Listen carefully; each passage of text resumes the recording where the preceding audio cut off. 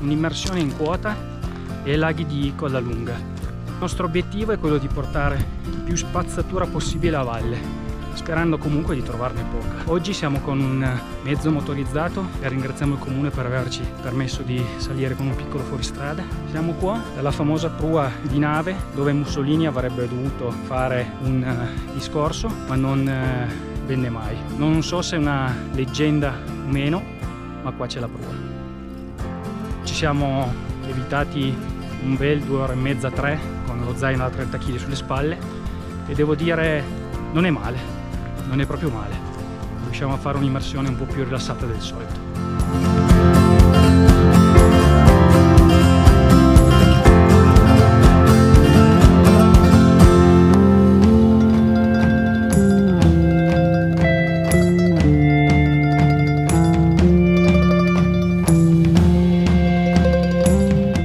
Eccoci in riva al lago, tra qualche minuto ci prepariamo le attrezzature, poi andiamo a vedere un po' cosa c'è dentro. Nel mentre Tommy è andato a cercare dei cimeli bellici.